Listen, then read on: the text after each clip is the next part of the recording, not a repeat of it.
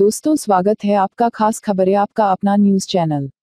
देश और दुनिया की खबरें पाने के लिए हमारे चैनल को सब्सक्राइब करना न भूले।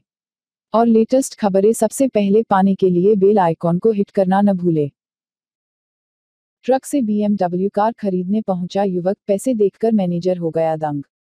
चीन में एक अनोखा मामला सामने आया है। यहाँ एक शख्स एक ट्रक लेकर कार खरीदने के लिए बीएमडब्ल्यू के शोरूम पहुँच गया। हालाँकि उसने चार लाख अस्सी हज़ार युआन यानी पचास लाख चौसठ हज़ार रुपये में नई बीएमडब्ल्यू कार खरीदी है। लेकिन इसके बाद शोरूम मालिक की मुश्किलें बढ़ गईं। दरअसल, जो शख्य नई कार खरीदने के लिए आया था, वह 900 किलो सिक्के ट्रक में लेकर आया था। इतने सारे सिक्के देख शोरूम के मैनेजर की आँखें फटी रह गई और उसने बैंक फ़ोन किया, जिसके बाद वहाँ से 11 कर्मचारी सिक्कों को गिनने के लिए पहुँचे। सिक्कों को गिनने वाली मशीन भी लाई गई। करीब 10 घंटे की मशक्कत के बाद बैंक कर्मियों ने 900 किलो वज़न के डेढ़ लाख सिक्कों को गिनने का काम खत्म किया।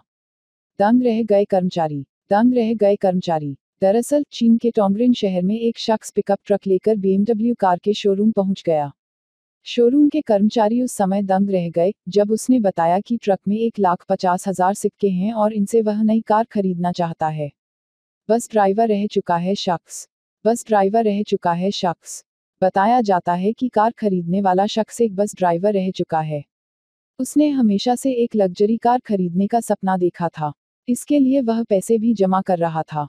दिलचस्प है कि उसने सिर्फ़ सिक्के जमा किए और धीरे धीरे पचास लाख से अधिक की रकम जोड़ ली।